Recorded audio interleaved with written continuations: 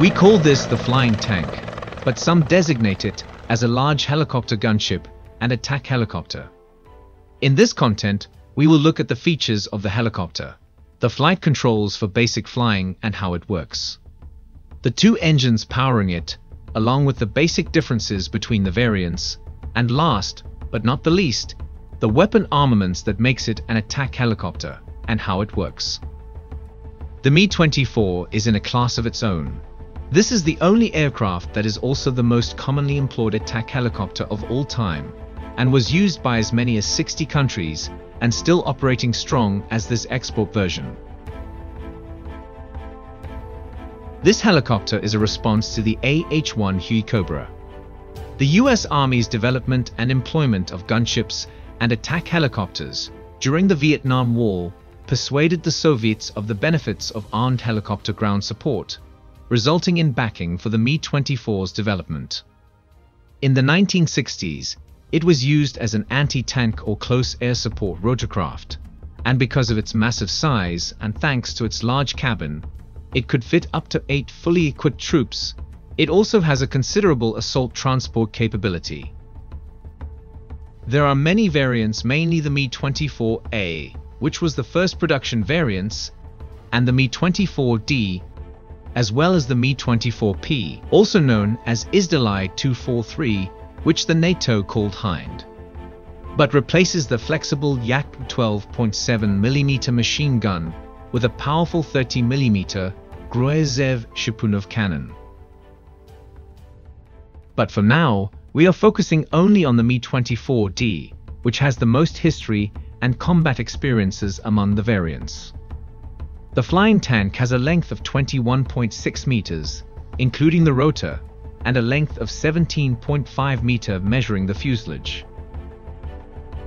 It has a height of 13 feet 11 inches or 4.1 meters. It has a weight of 9 ton or 8500 kilogram, while empty at a maximum carrying weight of 12.6 ton or 11,500 kilogram. We will try to cover the basic parts of this flying tank.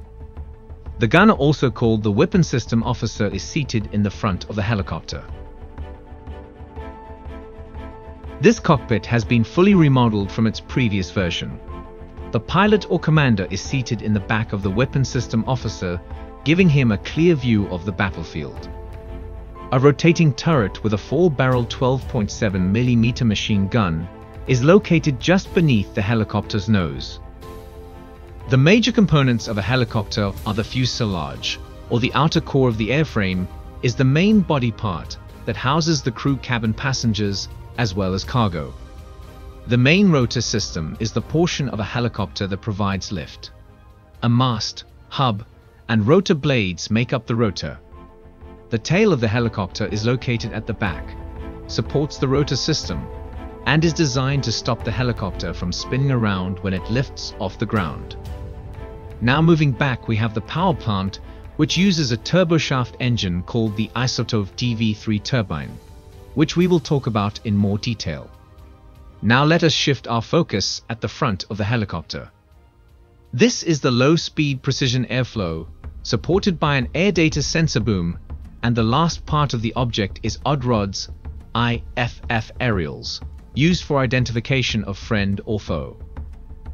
Now moving on to the more hidden and complex technology are the radar warning antenna that helps the pilot know if his helicopter is under the enemy's radar now let us look at this four-barrel machine gun, which is called a Yak-B 12.7mm, or in full form, the Yakushev Borzov.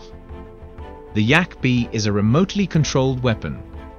It boasts of a high rate of fire, ranging from 4 to 5,000 rounds per minute, and is one of the few Gatling guns that is gas-powered rather than requiring an external motor to operate with 1,400 rounds which is stored in ammunition loading doors.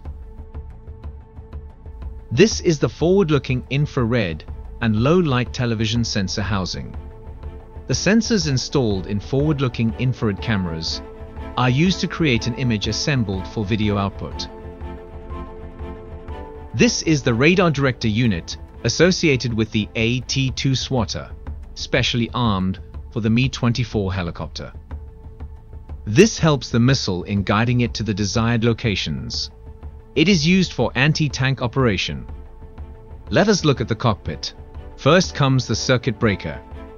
This is the left panel which represents the navigation and communication controls. Here is the left console panel which also houses the fuel system. Moving forward we have the left front console where it also houses a gearbox for the landing gear of the helicopter. Let us go to the front panel which houses the standard aviation control panel for helicopters. This is the altitude direction indicator which helps the pilot drive in the desired altitude level. Below we have the backup altitude direction indicator. As we move down we have the pilot weapons armaments panels. But remember this is the secondary weapon in comparison to the weapons systems officer in the front. Let us move to the cool things that help the pilot move the helicopter, and this consists of three components the collective, the cyclic, and the tail rotor pedals. How a collective works. Pull on the collective. This will raise the swash plate, which will tilt the rotor blades at such an angle, indirectly increasing the lift force in the upward direction. Moving the collective down indirectly makes the swash plate go down. This will create less lift indirectly slowing the upward motion of the helicopter. This is the cyclic. It is responsible for moving the helicopter forward and backward left or right left or right. Moving the cyclic will tilt the swash plate and indirectly affect the rotor blades of the helicopter increasing the lift on one side. The pilot will only have to move the cyclic to the direction in which he wants. Suppose he wants to move sideways, all the pilot has to do is point the cyclic in the left or right direction. Now the tail rotor of the Mi-24 is on the left side. While here in the west, they are mostly placed on the right side like the Black Hawk helicopter. But for the Russian engineers, this was accidental as the directional control was not responsive enough. As such, that problem was solved by moving the tail rotor from the right-hand side to the left and changing the rotation, which enable it to exert more power. These are the tail rotor pedals that have a relationship with the rotor blades at the back of the helicopter, which helps the helicopter turn to the left or right. If we step on the right pedal, the rotator blade directs the helicopter to the right. If the pilot steps on the left pedal, the helicopter shift to the left. All that lift and rotation are being powered by these two engines, the Isotov TV3 turboshaft engine. These engines suck in air from the front and heat the air for compression. This turns the turboshaft at the midsection. The main rotator blade will also be powered by the turboshaft engine through the tail rotor transmission shaft. All that power is being fed by five self-sealing tanks with a total capacity of 2,000 liters. If one of the tanks gets damaged the fuel system could still function. While comparing it to the American Black Hawk, the Mi-24 helicopter is built like a tank. Let me remind you that this is an assault and an attack helicopter, and is one of the few in the world period. Now let us look at the weapons system of the Mi-24. As discussed earlier, the Mi-24T carries the Yak 12.7mm machine gun, whereas the Mi-24E is equipped with a twin-barrel gun. But the newer version, or the export version that is Mi-34M, also uses the Gryazev Shipunov 23mm cannon, but mounted in a chin turret at the center of the weapon system officer. Now let us look at the universal block rocket launchers that carry these folding fin aircraft rockets, known as S-5 rockets. Each S-5 rocket is about 4 feet 6 inches or 1.4 meters long and weighs about 5 kilogram depending on the warhead and fuse. The range of the missile is around 3 to 4 kilometers. Now let us look at the AT-2 Swatter, air-to-surface missile also called the Falanga missile. How does the missile work? The weapon system officer keeps the crosshairs of his sight on the target and the missile flies itself there. In addition, the missile has terminal IR guidance and a maximum range of 4,000 meter.